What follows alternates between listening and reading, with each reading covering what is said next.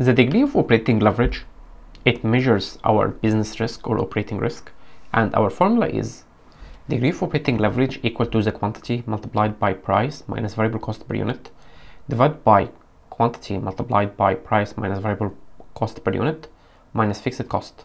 So let's assume that we don't have any business risk. So what do I mean by business risk? This is the use of fixed cost. Therefore, we don't have fixed cost. So this means that the numerator will be equal to the denominator. It means that the degree of operating leverage is equal to 1. So if degree of operating leverage is equal to 1, it means that there is no business risk. Let's apply the same concept with degree of financial leverage. So the formula of degree of financial leverage is EBIT divided by EBIT minus interest. We said that degree of financial leverage, it measures financial risk.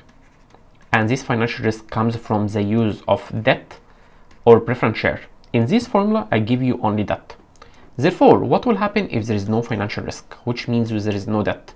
Therefore, the company is not going to pay interest. Therefore, our numerator will be equal to the denominator. Consequently, our degree of financial leverage is equal to 1. So if degree of financial leverage is equal to 1, it means that there is no financial risk. Consequently, there is no debt.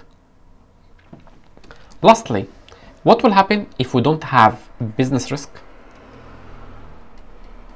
and we don't have financial risk? Therefore, our total risk will be